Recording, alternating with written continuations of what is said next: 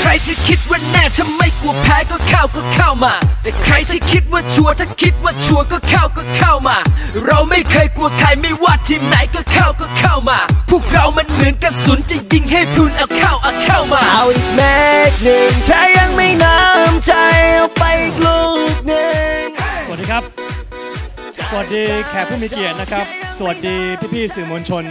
สวัสดีสาวงามทุกท่านนะครับ วันนี้ผมแชมป์พิรพลเอื้ออริยกูลนะครับ รู้สึกเป็นเกียรติมากครับที่ได้มาเป็นพิธีกรนะครับในงานสำคัญครับ เป็นการแถลงข่าวของเรานะครับในงานประกวดมิสบุรีรัมยูไนเต็ด 2013 นะฮะ หลายๆท่านที่เดินอยู่หน้าที่นี้ อาจจะงงนะฮะว่าวันนี้มีนักกีฬาที่ว่าหล่อที่สุดอยู่ที่นี่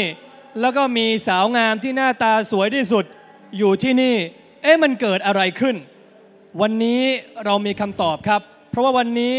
เรามีการเปิดเวทีสมัครสาวงามนะครับ เพื่อเฟ้นหาสุดยอด sport girl ที่จะมาประชันโฉมในเวทีมิสบุรีรัมย์ยูไนเต็ด 2013 ซึ่งเวทีมิสบุรีรัมย์ยูไนเต็ด 2013 นี้ เป็นอีกหนึ่งเวทีครับ ที่จะฉีกทุกกฎของการประกวดนะครับ แล้วก็จะบัญญัตินิยามของคำว่า สวยเหนือสวย สวยแบบไม่ธรรมดา เพราะเป็นการสวยบวกด้วยกีฬา ซึ่งสำหรับการประกวดครั้งนี้นะครับ ก็เป็นเวทีที่ได้รับความสนใจมาก ๆ หลายคนก็มีหลายคำถามนะครับว่า เงินรางวัลเป็นยังไงกฎกติกาจะเป็นอย่างไร การเป็นมิสบูรัมยูไนเต็ดมันมันเป็นเหมือนนางงามจังหวัดใช่ไหม เดี๋ยววันนี้ทุกคำถามจะมีคำตอบจากกูรูของเรานะครับ แต่ก่อนที่ผมจะเชิญแขกผู้มีเกียรติ 4 ท่านขึ้นมาบนเวทีนะครับ ต้องมี VTR มีภาพช็อตเด็ด มหากรรมสงกรานเมื่อปีที่แล้วที่บุรีรัมย์ที่ขึ้นชื่อว่าสุดยอดที่สุดในประเทศไทยเมื่อปีที่แล้ว แต่ปีนี้จะสุดยอดยิ่งกว่า เพราะสงกรานที่ว่าสุดยอดอยู่แล้ว จะมีสาวงามเข้าชิงตำแหน่งมิสบูรีรัมย์ยูไนเต็ด 2013 ด้วยสิบปากว่าไม่เท่าตาเห็นไปดูช็อตเด็ดสงกรามปีที่แล้วที่บุรีรัมย์ครับ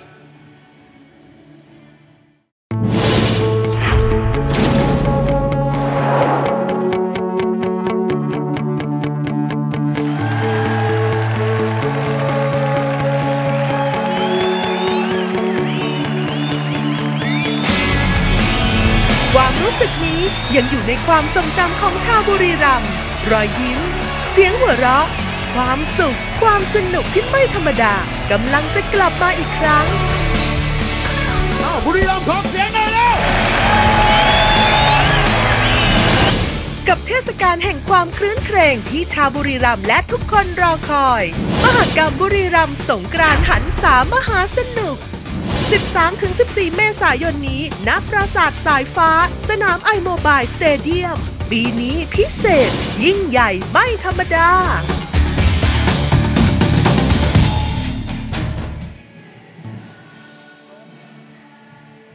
นั่นแหละครับคือภาพบรรยากาศของเมื่อปีที่แล้วนะครับ ปีนี้เข้มข้นสนุกสนานและก็งดงามกว่าทุกปีที่ผ่านมาแน่นอนนะครับ และมาถึงเวลาสำคัญนะครับ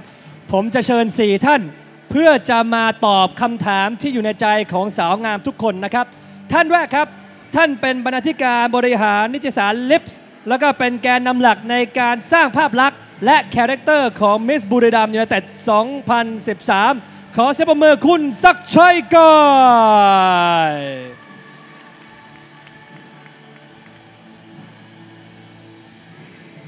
ส่วนท่านที่สองนะครับ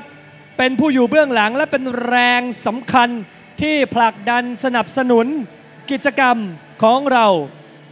ในปีนี้ ขอเสียปรบมือ คุณตายกรุณาชิดโชค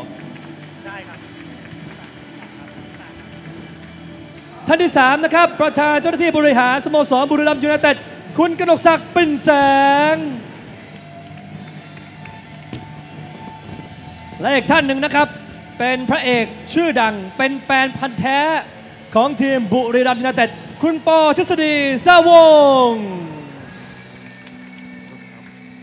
สวัสดีทุกท่านนะครับ เชิญครับ ขอถามพี่ศักดิ์ชายก่อนเลยแล้วกันครับว่า character ของผู้เข้าประกวด คือพูดง่ายๆอยากเป็นผู้ชนะ อยากเป็นมิสบุรีรัมย์ยูไนเต็ดเนี่ยเรากำลังมองหาสิ่งไหนในสาวงามหัวใจนักกีฬาครับพี่ครับ คือ คืออย่างแรกเลยนะครับ เราต้องการที่จะสร้างมาตรฐานใหม่ของเวทีการประกวดครับนะครับว่าเวทีของมิสบุรีรัมย์เนี่ยจะต้องมีบุคลิกที่เป็นเอ่อเฉพาะเพราะเราทำเรื่องกีฬาอยู่ใช่ไหมครับครับเราก็อยากจะให้มิสบุรีรัมย์เนี่ยมี character ที่เป็นsport girl ครับนะครับแล้วก็คุณสมบัติอย่างแรกเลยเนี่ยที่เราต้องการก็คือแน่นอนเราต้องเป็นหญิงแท้ ต้องเป็นหญิงแท้ ต้องเป็นผู้หญิง โอเค นะครับมีอายุระหว่าง 18 ถึง 25 ปี 18ถึง25 อันนั้นครันบเป็นคุณสมบัติข้อแรกนะครับ แล้วก็ที่แปลกจากเวทีอื่นก็คือว่าเราไม่จำกัดเชื้อชาติศาสนา ครับแล้วก็ภูมิลำเนา แต่ว่าก็จะต้องมีแหล่งพำนักอยู่ในประเทศไทย ครับอันี้อันนี้เป็นเป็นคล้ายๆว่าโอเ n นครับนะครับว่าอาจจะเป็นลูกครึ่งก็ได้ อาจจะเป็นเอ่อศาสนาใดก็ได้เนี่ยครัเราบไม่จำกัด ครับผม แล้วการพี่เป็นกูรูเรื่องของแฟชั่น การแต่งกายจะเป็นยังไงในเมื่อมีนางงามกับกีฬามาบวกกันเทรนด์การแต่งตัวของผู้เข้าประกวดจะเป็นยังไงครับคือความที่เราอยากให้มิสบุรีรัมย์เนี่ยเป็นเป็นสาวสมัยใหม่ครับเราก็เชิญท็อปยังดีไซเนอร์เนี่ยเป็นผู้ออกแบบชุดแต่งกายสำหรับประกวดในรอบสุดท้ายเนี่ยทั้งหมดเลยครับนะครับเราก็อยากจะให้ภาพของ มิสบุรีรัมย์นี่ดูดูสมัยใหม่จริง ๆ เพราะฉะนั้นเนี่ยเอ่อบุคลากรที่เราเชิญมานะทุกๆด้านก็จะเป็นผู้พูดง่ายๆคือเป็นผู้ทรงคุณวุฒิที่เป็นที่ยอมรับในวงการแฟชั่น แล้วก็ครับเป็นผู้ยอมรับในในสังคมนี้ด้วยครับ ก็ผมมีโอกาสคุยกับพี่ตายพี่ตายบอกว่าการประกวดนี่นะฮะก็จะทำคล้ายๆกับทีมฟุตบอลครับคือทุ่มเต็มที่วันนั้นคุยกันพี่ตายบอกผมบอกว่าแค่เรื่องของชุดนี่ลงทุนไปเป็น2อสล้านบาทเลย เพื่อให้ผู้เข้าประกวดดูดูแบบสวยสุดใช่ค่ะวันที่เอ่อผู้เข้าร่วมประกวดเดินในวันที่ 13 เมษาครับก็คือเราก็ใช้แชมป์โลกนะคะเป็นคนออกแบบชุดทั้งหมดครับ นะคะ แล้วก็ก็ตั้งแต่ head to toe ก็คือมาทั้งเซตเลยครับอไม่ใช่ไปเช่าชุดจากที่ไหนมา อ่า หรืออะไรก็คือเสื้อตัดใหม่รองเท้าตัดใหม่ทุกอย่างมาทั้งหมดค่ะ ๆ นี่ทำเหมือนการประกวดนางงามระดับอินเตอร์เลยนะฮะ เพราะนางงามอินเตอร์เนี่ยชุดเชิ้ตรองท้องรองเท้าเขาตัดให้หมดไอ้ยมีเดินชุดว่ายน้ำไหมฮะเนี่ยอ่าคิดว่าไม่มีนะคะ ปีนี้ยังไม่มีนะฮะอ่าไม่ไม่อาจจะไม่มีไม่มีการประกวดอย่างที่เราคุ้นคุ้นคุ้นกันอยู่อ่าเป็นการะคบฉีกไป อ่าอาจจะเป็นเราเราจะใช้คำว่าเราสร้างมาตรฐานใหม่ดีกว่า สร้างมาตรฐานใหม่ ที่คุณตายบอกว่าเราใช้แชมป์โลกก็คือว่ายังดีไซเนอร์คนนี้เนี่ยได้แชมป์โลกจากการประกวด Mango Award ที่อ๋อ ที่สเปนมา ครับ นะครับเป็นเป็นแชมป์โลกจริง ๆ แล้วก็เป็นที่ยอมรับในวงการแฟชั่นว่าเอ่อคุณใหม่พลัดเนี่ยเป็นเป็นมืออาชีพจริงครับๆนะครับเพราะฉะนั้นทุกชิ้นที่ที่ที่เอ่อผู้เข้าประกวดได้ใส่อย่างที่คุณตายว่าไปเมื่อกี้เนี่ยคือเป็นที่เป็นสิ่งที่เราคิดขึ้นมาหมด ไม่ว่าจะเป็นรองเท้าก็ดีเพราะทุกอย่างที่อยู่บนเวทีนั้นเป็นสิ่งที่เราดีไซน์ขึ้นมาทั้งหมดครับครับพี่กนกศักดิ์ฮะเงินรางวัล เงินรางวัลเป็นยังไงครับ ผู้ชนะมิสบุรีรัมย์ยูไนเต็ดเงินรางวัลเป็นยังไงฮะรางวัลสำหรับมิสบุรีรัมย์ยูไนเต็ดเนี่ยครับเป็นเงินสด 1 ล้านบาท เงินสดแล้วก็1ล้านบาท แล้วก็มีรถฟอร์ดโฟกัสอีกหนึ่งคันนะฮะรถอีกหนึ่งคัน แล้วก็มีลูกบอลเกียรติยศ แล้วก็เสื้อสามารถ แล้วก็ยังมีผลิตภัณฑ์ของ BSC อีกต่างหากโอ้ไม่ใช่นักบอลได้บอลลงดอร์นะฮะนั่นดังมิสบุรีรัมย์มีลูกบอล ลูกบอลเกียรติยศลูกด้วยบอลนะเกียรติยศฮะแล้วมีเสื้อสามารถด้วยฮะโอ้สุดยอดสุดยอดมีสามลูกนะเออมีมีลูกเป็นมิสบุรีรัมย์ได้สีทองครับ แล้วก็มี silver แล้วก็มี bronze copper อ๋อโอ้ดีครับดีฮะสุดยอดสุดยอดคือเวทีอื่นอาจจะต้องมีมงกุฎมีสายสะพายครับใช่ไหมคะแต่ของเราไม่มีมงกุฎและไม่มีสายสะพาย เป็นลูกบอลทองคำค่ะอ่าสุดยอด คุณปอทฤษฎีคุณอยู่ในวงการบันเทิงมาเยอะ ครับผมคุณเป็นแฟนบุรีรัมย์อย่างเหนียวแน่น ในฐานะที่คุณเป็นคนบุรีรัมย์ด้วยเนี่ยนะฮะใช่ครับ สาวงามที่คุณอยากให้มาเป็นตัวแทนของจังหวัดของสโมสรครับผม ผู้หญิงอุดมคติในสเปคในฝันต้องมีบุคลิกเป็นยังไง ถ้าถามผมว่าผู้หญิงที่จะมีคุณสมบัติสำหรับตัวผมนะครับทัศนคติของผมสำหรับผู้หญิงที่จะมาเป็นมิสบุรีรัมยูไนเต็ดเนี่ยคือหนึ่งก็คือเราเป็นทีมฟุตบอลครับนะครับ เราเป็นทีมฟุตบอลที่มีมาตรฐานนะครับ เพราะฉะนั้นนางงามของเราก็ต้องเป็นนางงามที่มีมาตรฐานเหมือนกันนะครับอ่า ผมที่ฟุตบอลเราเป็นมาตรฐานระดับประเทศครับอ่านางงามของเราก็ต้องเป็นระดับประเทศเหมือนกัน ครับ คือการที่จะมาเป็นแบรนด์แอมบาสเดอร์ของทีมทีมระดับประเทศนี่คือผมว่ามันมีมีภารกิจที่ที่ต้องที่ต้องทำเยอะ ครับ นอกจากความสวยแล้วคือต้องเป็นคนที่ ต้องใจกว้างเพราะว่าอ่าพวกเราเป็นคนใจกว้าง แล้วก็มีน้ำใจนักกีฬาครับผมอ่าผมคิดว่าสิ่งนี้คือคือสิ่งที่บิสบุรีรัมย์ยูไนเต็ดที่ที่ต้องต้องต้องมีใช่ครับผมตอบได้ดีมากนะเพราะความความคาดหวังเนี่ยสูงมากเพราะตอนนี้บุรีรัมย์อย่างที่คุณปอเรียนไปเนี่ยคือทีมระดับประเทศ ในวงการกีฬาไม่ใช่ระดับประเทศแล้วนะครับ ระดับเอเชียแล้วนะฮะเพราะตอนนี้แชมป์เชิมจากญี่ปุ่นเกาหลีเจอบุรีรัมย์นี่บุรีรัมย์สู้ได้หมด ฉะนั้นคุณก็ต้องเป็นคนคุณภาพ มาอยู่กับสโมสรคุณภาพ พี่ต่ายฮะ หลายคนสงสัยว่ามิสบุรีรัมย์ยูไนเต็ดมันมันจะแตกต่างกับเป็นนางงามจังหวัดไหม จะควบเลยไหมเป็นนางงามของสโมสรและเป็นของจังหวัดตรงนี้เป็นยังไงฮะเอ่อไม่นะคะเพราะว่าหลายคนหลายคนจะตั้งคำถามว่าทำไมเอ่อเป็นมิสบุรีรัมย์ยูไนเต็ดทำไมไม่ใช้คนในพื้นที่ครับทำไมไม่จำกัดเฉพาะคนบุรีรัมย์อ่าน นะคะ ก็อยากจะบอกว่าตรงนี้เอ่อ จริงๆแล้วเนี่ยเป้าหมายหลักที่เราจัดกิจกรรมนี้ขึ้นมา เพราะว่าเราเคยทำงานสงกรารเมื่อปีที่แล้วครับแล้วเราก็เอา ROE เอาคอนเสิร์ตจากเกาหลีอะไรต่างๆมา แล้วคนก็มาใช้เงินในจังหวัดเราสูงถึง 50 กว่าล้านบาท ภายในครับ2วัน เราก็คิดว่าปีนี้เราจะจัดเอ่อประกวด Miss b m u n i t e d แล้วก็ปีต่อๆไปทุกๆปี เพื่อที่เป้าหมายหลักก็คือเราต้องการให้คนหลั่งไหลมาเที่ยวจังหวัดครับบุรีรัมย์ เพราะว่าต้องบอกตรงๆว่าจังหวัดบุรีรัมย์เนี่ยโชคร้ายครับที่ไม่มีภูเขาไม่มีทะเลคือไม่มีที่ที่คนเอ่อในประเทศแล้วก็ชาวต่างชาติอยากจะมาเที่ยวจังหวัดเรา ครับ เราก็ต้องทำอะไรที่ให้คนมาเที่ยวจังหวัดเรา ครับซึ่งเราตั้งเป้าว่าเราเอ่ออยากจะทำให้จังหวัดบุรีรัมย์เป็น top 5 ของประเทศที่ใครที่มาประเทศไทยก็ต้องมาเที่ยวจังหวัดเราครับ ค่ะนอกจากเอ่อจะประกวดมิสบุรีรัมย์ในปีนี้และปีต่อ ๆ ไป ปีหน้านะคะ ปีหน้าเราก็จะทำเอ่อบุรีรัมย์ National Inter- International Circuit ครับก็คือสนามแข่งรถแข่งรถเหมือนพีระเซอร์กิตแต่สิ่งที่เราจะทำสนามแข่งรถเราจะทำให้ยิ่งใหญ่กว่านั้น คือทำให้เป็นดีที่สุดในในระดับเอเชียครับนอกจากนั้นเราก็จะมี water park นะคะสวนน้ำ water- สวนน้ำอะ ทั้งหมดใช้พื้นที่ไม่น้อยเลยคือ 1,000 ไร่ ครับ ในการทำมอเตอร์สปอร์ตแล้วก็ water park ซึ่งจะเสร็จสิ้นภายในปีหน้าครับ ค่ะแล้วก็มีโรงแรมระดับ 6 ดาว ซึ่งจะเสร็จภายในเดือนกันยายนนี้ เพื่อรองรับ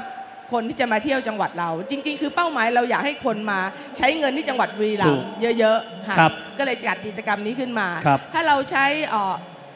จำกัดแต่คนในบุรีรัมย์มันก็ไม่ต่างจากนางงามกาชาติ นางงามนพมาศประจำจังหวัด ครับ เราก็จะได้เราก็จะไม่ได้ผู้บริโภคที่เพิ่มขึ้นครับ ค่ะนี่คือวัตถุประสงค์จริง ๆ คือเป็นอย่างนี้ คือทำเพื่อให้คนมาใช้เงินที่จังหวัดบุรีรัมย์เยอะครับบุรีรัมย์เนี่ยชอบทำอะไรท้าทายนะครับ ฟุตบอลก็ต้องไปแข่งกับทีมหินหิน อุปสรรคที่ว่าเราไม่ใช่เมืองท่องเที่ยวเราก็ต้องหากิจกรรมนะฮะขนาดจัดงานวันนี้ยังมาจัดดวลกับคอนเสิร์ตเลยฮะอันนี้คือวิธีบุรีรัมนะฮะคือถ้าไม่ท้าทายไม่ทำฉะนั้นปรบมือดังๆหน่อยครับแขกผู้มีเกียรติผมเนี่ยต้องพูดดัง ๆ นิดนึงนะฮะเพราะว่าง่ายๆ ไม่มีอุปสรรคเนี่ยไม่ใช่บุรีรัมนะฮะอะสุดท้ายฮะอยากจะให้ทุกท่านฝากกับสาวงามทุกคน เป็นความในใจที่อยากจะฝาก เพราะว่าผมเชื่อว่าผู้ชนะเนี่ยอาจจะอยู่แถวๆนี้ ความในใจที่อยากจะบอกพวกเขากับภารกิจที่ยิ่งใหญ่เริ่มจากพี่ศักดิ์ชัยเชิญครับ คือเป็นเราต้องยอมรับว่าคือบุรีรัมย์เนี่ยมีผู้ที่ทำในเรื่องของศิลปะวัฒนธรรมนะครับก็ก็มากอยู่ เพราะฉะนั้นเนี่ยทุกคนก็ใช้ความถนัดในการโปรโมทจังหวัดบุรีรัมย์เพราะฉะนั้นเนี่ยความสามารถของของบุรีรัมย์ยูไนเต็ดก็คือว่า เราเป็นผู้เชี่ยวชาญเรื่องกีฬาครับฉะนั้นเนี่ยจุดมุ่งหมายของเราก็คือเราเอาความถนัดของเราเนี่ยมาช่วยโปรโมทจังหวัดบุรีรัมย์นะครับไม่ใช่ว่าเราไม่สนใจเรื่องศิลปะวัฒนธรรม เรามีผู้เชี่ยวชาญทางด้านนั้นนะทำไปแล้ว เพราะฉะนั้นเนี่ยมิสบุรีรัมย์ยูไนเต็ดของเรา ก็แน่นอนว่าเราต้องการเอ่อบุคลิกภาพของมิสบุรีรัมย์จริง ๆ ที่มีความสามารถทางด้านกีฬา มีภาพพจน์ที่คนดูแล้วเนี่ยมีความรู้สึกที่ดีครับนะครับเพราะฉะนั้นเนี่ยผมก็ขอขอฝากให้ผู้เข้าประกวดทุกท่านนะครับว่า อย่าไป misconcept นะ concept ของเราคือเราต้องการบุคลิกภาพของผู้เข้าประกวดที่มีบุคลิกลักษณะดีแข็งแรง แล้วก็สามารถที่จะต่อยอดของของเมืองแห่งกีฬาของบุรีรัมย์ในอนาคตได้นะครับ ก็ครับขอให้ทุกคนโชคดีครับ ขอเสียงปรบมือคุณศักดิ์ชัยครับผมพี่ตายครับความในใจลูกอีกคนนึงแหละของบุรีรัมย์ที่จะเข้ามาในครอบครัวของเราอยากจะฝากอะไรกับพวกเธอครับ ก็อยากจะฝากอ่าผู้เข้าประกวดนะคะว่าเอ่อ ส่วนตัวแล้วเป็นกรรมการคนหนึ่งนะครัคะบถ้าจะตัดสินก็คือสวยไม่มากไม่เป็นไร แต่ต้องมีสมองอ๋อแล้วต้องรักการกีฬานะคะคือต้องต้องรู้เรื่องการต้องรู้เรื่องสปอร์ตนะคะอย่างน้อยต้องรู้เรื่องรู้จักว่าทีมบุรีรัมย์ยูไนเต็ดคืออะไรมีความเป็นมาอย่างไรบ้างครับนะคะแล้วก็นอกจากนั้นก็คือต้องมีสมอง เพราะไม่งั้นนี่ถ้าได้เป็นมิสบุรีรัมย์ยูไนเต็ดไปแล้ว คุณไม่สามารถที่จะ present อืมจังหวัดเราได้หรือสโมสรเราได้ นั่นก็ไม่ผ่านค่ะครับก็ฝากไว้ตรงนี้นะฮะก็คำถามที่ปกติเนี่ยบนเวทีอื่นเขาอาจจะถามกันว่า อยากจะเปลี่ยนโลกยังไง อาจจะมีคำถามว่าปีที่แล้วบุรีรัมย์ชนะกี่เกมก็ได้นะฮะอาจจะมีคำต้องต้องต้องรู้เรื่องบุรีรัมย์บ้างพี่กนกเชิญครับ ก็อย่างที่คุณต่ายได้บอกว่านะฮะเมื่อกี้นี่เป็นการบอกข้อสอบนิดๆสำหรับผู้เข้าประกวดนะฮะเตรียมไปอ่าทำกันบ้าน จริง ๆ แล้วเนี่ยการที่เป็นมิสบุรีรัมยูไนเต็ดเนี่ยไม่ใช่ว่าแค่เป็นตัวแทนของของประในบุรีรัมย์อย่างครับเดียวนะครับ เพราะว่าเรามีกิจกรรมในการแข่งเนี่ยนะฮะอย่างเดี๋ยวต้นเดือนหน้าก็ต้องไปแข่งที่จีนครับแล้วอีกอีกทีนึงก็จะไปแข่งที่เกาหลีเนี่ยมันก็จะต้องไปทำกิจกรรมร่วมกับทีมนะฮะอ๋อทั้งในครัและบนอกประเทศครับมันเป็นโอกาสที่ดีสำหรับน้องๆที่จะเข้ามาประกวดนะฮะครับครับ ขอบคุณครับอะปอทิศฮะครับผมคุณแชมป์ครับว่าไงครับ สุดท้ายแล้วแหละหนุ่มๆ คุณเนี่ยต้องรู้ดีว่าหนุ่มๆ อยากจะเห็นอะไรในตัวของผู้ที่จะเป็น Miss Buriram United จริงๆพวกเรื่องนี้พวกเพื่อนๆผมจะรู้ดีกว่า นะครับ แต่แต่อย่างที่ผมบอกคือสำหรับสำหรับตัวผมนะครับอ่าผู้หญิงที่จะมาเป็นมิสบุรีรัมย์ยูไนเต็ดเนี่ยคือผมพูดในฐานะที่ผมเป็นคนบุรีรัมย์ ครับ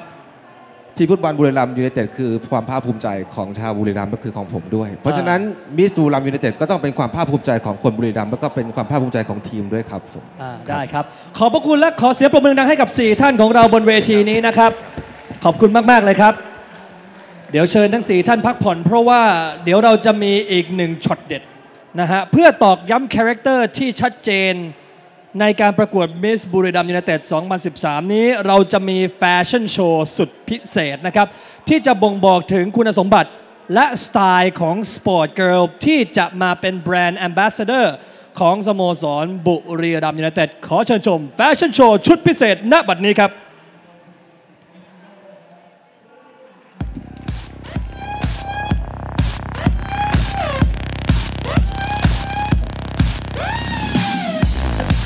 ขอเสียงปรบมือแอนโทนีเพชรอัมพายพิทักษ์วงศ์ลูกครึ่งไทยอเมริกันนะครับ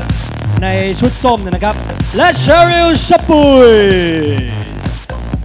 ลูกครึ่งไทยสวิสทีมชาติไทยนะครับ ส่วนนางแบบก็คือ คุณโยเกิร์ต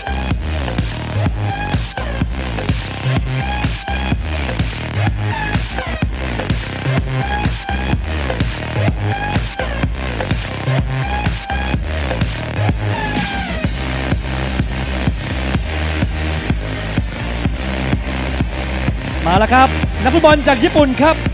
ค่ายฮิรโนะมากับนางแบบคุณไอด้านะฮะ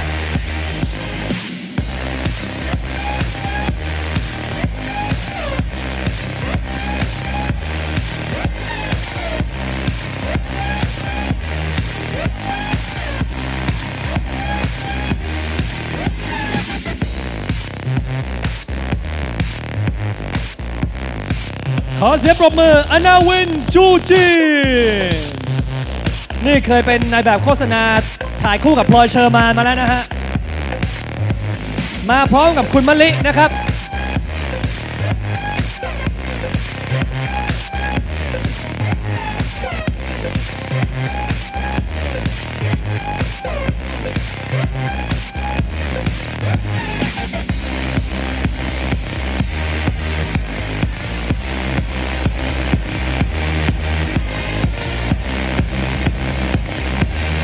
ขอเสียงปรบมือครับชิติพันธ์แทนกลาง และอดิตพัทรประสิทธิ์ กับนางแบบคุณบีน้ำทิพย์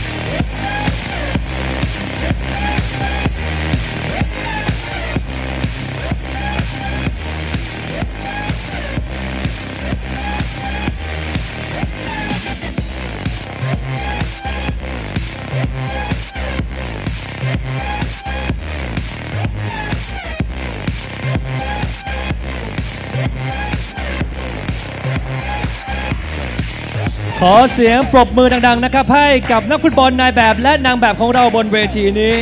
ด้วยนะครับ และโอกาสนี้ครับผมขอเรียนเชิญนะครับ ทั้ง 4 ท่านนะครับกลับขึ้นมาบนเวทีอีกครั้งครับไม่ว่าจะเป็นทางด้านพิศักดิ์ชัยกายนะครับ คุณกรุณาชิดชอบ คุณกนกศักดิ์ครับ แล้วก็ปอทฤษฎีเพื่อมาถ่ายภาพร่วมนะครับกับนักฟุตบอลและก็นางแบบของเราขอเรียนเชิญครับ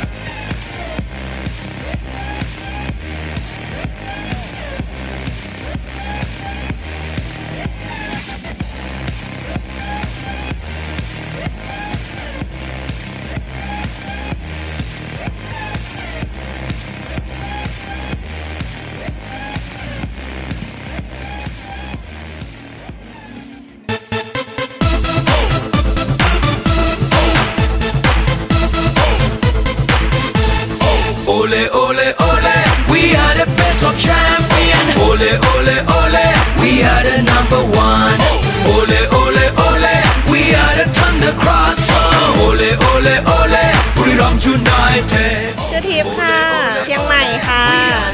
ชื่อแซนค่ะ มาจากกรุงเทพนี่แหละค่ะ สวัสดีค่ะ ชื่อจูค่ะ ชื่อรุจิราค่ะมาจากกรุงเทพมาจากบ้าน Crosser. Ole, ole, ole, Buriram United. ชื่อติตติค่ะ ก็มาจากแถวๆมอเกษตรอะค่ะ ทราบมาจากพี่ค่ะ แล้วก็พอรู้ว่ามีการประกวดก็เข้าไปดูรายละเอียดในอินเทอร์เน็ตนะคะว่ามาวันไหนบ้างต้องเตรียมอะไรบ้างอย่างเงี้ยค่ะ จริงๆแล้วเป็นคนลุยๆอะค่ะ แล้วก็การเล่นกีฬาก็เหมือนกันเหมือนออกกำลังกายอะค่ะ ก็ปกติก็ดูแลรักษาร่างกายตัวเองอยู่แล้วค่ะ เรื่องรูปร่างเรื่องอะไรอย่างงี้ก็เล่นกีฬาบ้างเข้าฟิตเนสบ้าง แล้วก็สนใจการเล่นกีฬาค่ะ สวัสดีครับ ผมศักชัยกายบรรณาธิการบริหารนิตยสารลิฟส์นะครับ วันนี้เรามาพบกันที่เวทีบุรีรัมย์ยูไนเต็ด 2013 รับสมัครผู้เข้าประกวดมิสบุรีรัมย์ยูไนเต็ดนะครับ คือเอเวทีนี้เนี่ยเรามีความตั้งใจแล้วก็มุ่งหวังที่จะคัดนางงามที่เราตั้ง concept ขึ้นมาใหม่นะครับนางงามของเราเนี่ยอาจจะไม่ได้เป็นนางงามแบบสวยจัดนะครับ อาจจะไม่ต้องสูงยาวเข่าดี แต่เราต้องการนางแบบที่มีนางงาม บุรีรัมย์เนี่ยจะต้องมีคุณสมบัติที่มีลักษณะเป็น sport girl แล้วก็มีความคล่องแคล่วว่องไวมีไหวพริบปฏิภาณอาจจะมีความรู้เรื่องเรื่องเอ่อกีฬาก็จะดีมากนะครับเพราะว่าเราอยากให้ภาพของนางงามที่เราเรียกว่ามิสบุรีรัมย์ยูไนเต็ดเนี่ยมีมี look ใหม่ มีภาพที่เป็นคนสมัยใหม่นะครับไม่เหมือนการประกวดเอ่ออย่างเวทีอื่นๆเขานะครับเพราะฉะนั้น วันนี้เรามีเงินรางวัลสูงถึง 1 ล้านบาทสำหรับผู้เข้าประกวดนะครับ แล้วก็ยังมีรถยนต์อีกหนึ่งคัน แล้วก็สปอนเซอร์อีกเพียบนะครับ แล้วก็อยากจะให้มิสบุรีรัมย์ยูไนเต็ดเนี่ยเป็นเป็นเสมือน ambassador ของทีมบุรีรัมย์ยูไนเต็ดในการทำกิจกรรมต่างๆนะครับ ทั้งของจังหวัดเอง ทั้งของสโมสรเอง แล้วก็ของสังคมโดยรวม เพราะฉะนั้นก็อยากให้ทุกคน นะครับ คอยดูว่าการคัดเลือกนางงามของเราเนี่ยมันจะเป็นยังไง เพราะว่า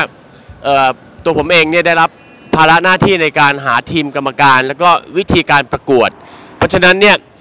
อย่างแรกเลยเราต้องการแสดงความโปร่งใสว่าการประกวดมิสบุรีรัมยูไนเต็ดครั้งนี้เนี่ยไม่มีการล็อกหวยนะครับทุกอย่างโปร่งใสแน่นอน เพราะว่าแต่ละคนก็มีวุฒิภาวะและหน้าที่รับผิดชอบในสังคม เป็นที่รู้จักกันโดยทั่วไป เพราะฉะนั้นไอ้เรื่องหวยล็อกเนี่ยผมเอาหัวเป็นประกันว่ามันไม่เกิดขึ้นแน่นอนนะฮะเพราะฉะนั้นอยากให้ทุกคนถ้ามีเวลาขอเชิญนะครับ ที่บุรีรัมย์ไอโมบายสเตเดียมวันที่ 13ถึง14 เมษายนนี้ครับ ครับก็นี่ก็ถือกิจกรรมหนึ่งครับที่น่าตื่นเต้นมากนะครับสำหรับบุรีรัมย์ในปีนี้นะครับโดยปกติแล้วเนี่ยนับตั้งแต่ปีที่แล้วที่มีงานสงกรานต์มาสนุกมาผมคิดว่างาน สงการของบุรีรัมย์เป็นงานที่น่าเฝ้ารออยู่แล้วนะครับแต่ว่ายังไงก็ตามเนี่ยปีนี้มีกิจกรรมเรื่องการประกวดมิสบุรีรัมย์เข้ามาแล้วก็ทำทุกอย่างน่าตื่นเต้นกันเพิ่มเข้าไปอีกนะครับก็อยากให้แฟนๆมาร่วมงานเทศกาลสงการนะครับสงการปีนี้อย่าไปไหนนะครับเจอกันที่บุรีรัมย์ครับผมเนี่ยเราต้องการสาวซึ่งมีความรู้ความสามารถนะฮะเอ่ไม่ใช่เน้นสวยอย่างเดียว จะต้อง smart นะฮะ smart และ sportive ก็คือเป็นลักษณะของออกในแนวทางนักกีฬาส่วนหนึ่งเพื่อมา ทำหน้าที่ในการเป็นลักษณะเป็น ambassador ของของสโมสรบุรีรัมย์ยูไนเต็ดการประกวดมิสบุรีรัมย์ยูไนเต็ดเนี่ยมันเป็นอะไรที่แปลกแตกต่างจากการประกวดของเวทีอื่นๆนะครับ เพราะเราเราไม่ได้เน้นสวยอย่างเดียวนะฮะเราเน้นความมีเสน่ห์ความสามารถเฉพาะตัวในเรื่องของเอ่อฉลาดเฉลียวนะฮะเพื่อที่จะเป็นมีภาระก็คือจะต้องมาเป็นผู้แทนสโมสรและจังหวัดของเราฮะ ผมมาตรฐานนี่อย่างเป็นอะไรที่การันตีได้แน่นอนนะเป็นว่าเป็นการประกวดระดับมาตรฐานเดียวกับไอเวทีระดับประเทศของอื่นๆนะฮะซึ่งเราก็ได้เกียรติจากคุณศักดิ์ชัยกายเนี่ยนะฮะซึ่งมันช่วยดูแลในเรื่องของการตัดสินและมีกรรมการตัดสินซึ่งมีคุณภาพนะฮะการันตีได้ว่ามีมาตรฐานและยุติธรรมที่สุดฮะ ก็เราวันนี้เรามาแถลงข่าวเรื่องการประกวด Miss b u m e t e d นะคะที่ World Trade นะคะ ตอนนี้เราก็อยู่กันที่ World Trade ก็ได้รับการตอบรับอย่างดีนะคะ ก็มีคนมาสมัครเเพิ่มขึ้นนะคะ สวยมีคนสวยๆเยอะค่ะที่เดินผ่านตาไปนะคะ แล้วก็ที่สำคัญนะคะก็คือมีแฟนบอลนะคะจะเอ่อของ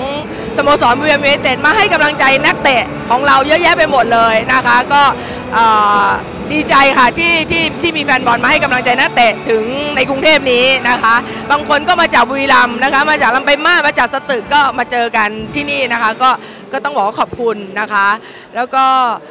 การจัดงานในครั้งนี้นะคะ ก็อยากจะประกาศอีกครั้งหนึ่งนะคะว่ารางวัลเนี่ยทั้งหมดเนี่ยเรามีหลายรางวัลนะคะ รางวัลที่หนึ่งนะคะผู้ได้ได้ได้ที่หนึ่งเนี่ยก็จะได้เงินสด 1 ล้านบาท พร้อมกับรถยนต์ Ford f o r u s นะคะ 1 คันนะคะรางวัลที่สองนะคะ อันดับ 2 ก็ได้รับเงินรางวัล 3 0 0 0 0 0 บาท พร้อมกับรถมอเตอร์ไซค์ยามาฮ่า1คันแล้วนะแล้วก็อันดับ3นะคะก็ได้เงินรางวัล 1 0 0 0 0แบาท พร้อมกับรถยามาฮ่า1คันนะคะแล้วก็มีขวัญใจช่างภาพนะคะก็คือเอ่อได้รับมอเตอร์ไซค์1คัน แล้วก็เงิน5เงิน5 5 0,000บาทนะคะแต่ที่สำคัญนะคะก็คือมี Thunder Angel นะคะที่โหวตโดยนักเตะบุรีรัมย์ยูไนเต็ดทั้งหมดนะคะเรียกว่า Thunder Angel นะคะ เป็นเงินสด 50,000 บาท มอเตอร์ไซค์หนึ่งคันอีกเช่นกัน ส่วนรางวัลที่ได้มาสดๆ ร้อนๆ เมื่อกี้นะคะ จากสปอนเซอร์ iMobile นะคะ โทรศัพท์ iMobile ก็คือ Miss iMobile Popular Award นะคะ Miss iMobile Popular Award จะได้รับเงินสด 50,000 บาท แล้วก็ผลิตภัณฑ์ BSC มูลค่าอีก 20,000 บาทนะคะ นอกจากนั้นแล้วผู้เข้าประกวดทั้ง 20 คนก็จะ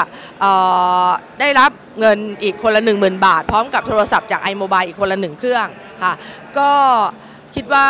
เเราคงจะได้แอมบ s สเดอร์ที่เป็นหน้าเป็นตาให้กับคนบุรีรัมแล้วก็สโมสรของเรานะคะ ที่สวยแล้วก็มีสมอง แล้วก็ผู้ที่เข้ารอบอ20 คนนะคะก็จะได้ ถ่ายแฟชั่นนะคะอ่าโดยใช้ชุดที่ประกวดทั้งหมดลงนิตยสารลิฟทั้ง 20 คนนะคะ ก็จะถ่ายลงหนังสือลิฟนะคะ แล้วก็อย่าลืมนะคะวันที่ 6 เมษายนนี้นะคะ ผู้เข้ารอบ 50 คนก็จะไปเอ่อเชียร์บอลกับพวกเราที่สนามไอโมบายเรามีแมตช์เตะกับสงขลายูไนเต็ดนะคะ ก็ก็ไปเชียร์บอลแล้วก็ชมผู้เข้าร่วมประกวด 50 คนแรกนะคะ ส่วนวันที่ 10 11 12 นะคะ 13 นะคะช่างผ้าหน้าผมของทีมงานนี้จะไปอยู่กับเราที่บุรีรัมย์ตั้งแต่วันที่ 10 นะคะ แล้วก็จะคัดผู้เข้ารอบเหลือแค่ 20 คน ตั้งแต่วันที่ 10 11 12 จนถึงวันประกวดคือวันที่ 13 นะคะ ช่างผ้าหน้าผมทุกท่านเนี่ยจากกรุงเทพก็จะไปทำงานกับเราไปอยู่กับเรานะคะที่บุรีรัมย์นะคะ แล้วผู้เข้ารอบ 20 คนก็จะไปทำกิจกรรมในจังหวัดบุรีรัมย์ตั้งแต่วันที่ 10 11 12 นะคะ ก็อยากเชิญชวนแฟนบอลนะคะ คอยต้อนรับว่าสาวงามของเราที่จะไปเยี่ยมตามอำเภอต่างๆ เป็นใครนะคะ แล้วในวันที่ 10นะคะเมษายนซึ่งเราจะเปิดบ้านนะคะในรายการ AFC Champions League นะคะ ก็จะมีสาวงาน 20 คนไปช่วยเราเชียร์บอลด้วยอีกเช่นกันค่ะ